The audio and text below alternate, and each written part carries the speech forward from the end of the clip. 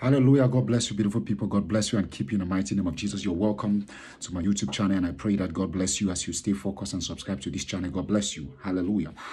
Three type of people you're going to be avoiding this month of June. God did not usher you in here so they can they can break down your spirit. God did not usher you into the month of June so people can give you attitude and frustrate you. These three type of people you're going to avoid them.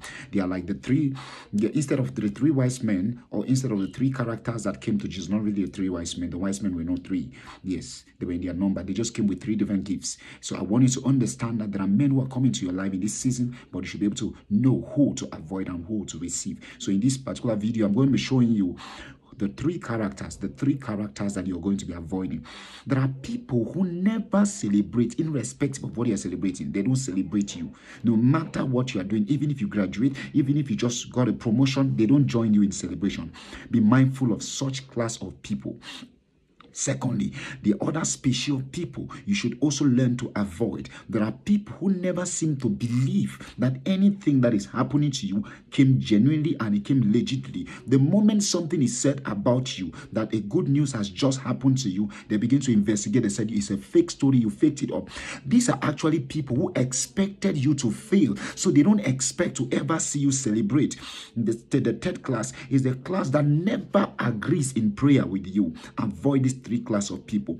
Now, this prophetic word is strategically given to you that you may be able to engage into what God ushered you into June to do.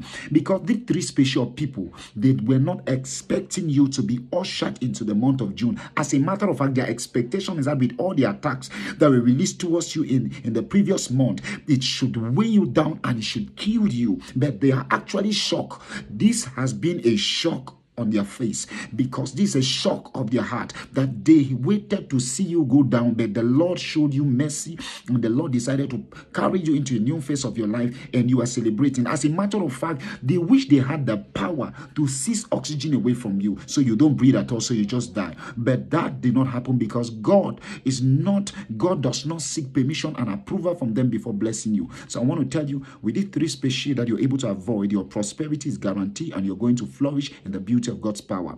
These are the species you should walk away from this month of June. God did not usher you so they can detect your steps and frustrate you. You are blessed beyond curse. You are blessed beyond measure. And this is good news. The prayer I stand in agreement with you to declare over your life that you will not feel as you expected. In Jesus' name.